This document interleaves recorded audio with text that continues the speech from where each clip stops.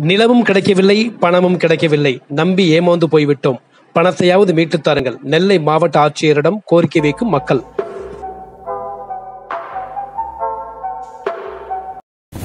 திருநெல்வேலி மாவட்ட கலெக்டர் அம்மா அவர்களை சந்திக்க வந்தோம். ஆனால் சந்திக்க இயலவில்லை. அது பெட்டிஷன் வந்து நாங்கள் வந்து பாக்ஸில் போட்டிருக்கோம். அதாவது விவரம் என்ன கேட்டால் லேண்ட் விஷயமா பேசுகிறோம் அதாவது பணத்தை வந்து ஒரு முருகனுக்கு ஒரு ஏஜென்ட்டு நாங்கள் பணத்தை இந்த மாதம் ஆயிரம் மணிக்கு கொடுத்து வந்து கொடுத்தோம். மூணு லட்சத்தி முப்பத்தி ரெண்டாயிரம் கட்டியிருக்கோம். அவர் முருகன் ஒரு இறந்து போனாரு. அவர் முருகன் வந்து இந்த இடத்துக்காட்ட பணத்தை கொடுத்துருக்காரு. அவர் பெருமாப்பட்டில் நந்தினின்னு சொல்லி ஒரு கேரளாக்காரர் இருக்காரு. பணம் தாரம் தாரங்கிற தர மாட்டாங்க இழுத்து அடிக்காரு. நாங்களும் போலீஸ் அதிகாரத்தை எல்லாத்தையும் முறையிட்டோம் அவங்களுக்கு வேற ஒரு தகவல் ஒன்றும் தெரியல. அதனால அம்மாவை பார்க்க வந்தா அம்மாவை பார்க்க முடியல. அதனால மனுவை கொடுத்துருக்கோம். தயவு செய்து அம்மா கருணைஞ்சு இந்த ஏழைகளுடைய பணத்தை நீங்க வாங்கி கொடுக்குமாறு தாழ்மையோட கேட்டுக்கொள்கிறேன். நன்றி வணக்கம்மா.